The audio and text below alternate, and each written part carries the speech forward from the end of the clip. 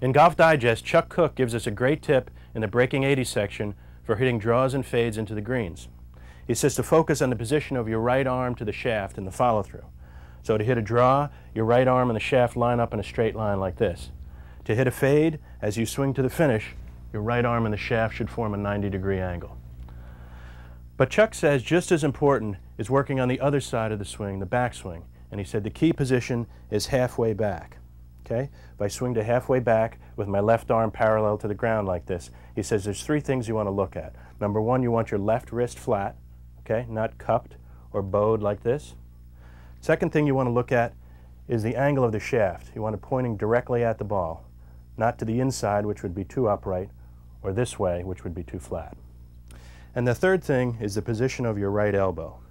You want to make sure that it's still in front of your body like this, not back off your right side, which is getting the club too far to the inside.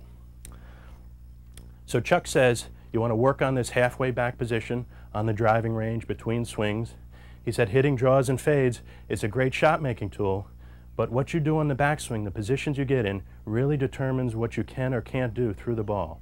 So try these tips from Chuck Cook and you'll learn to control your shot.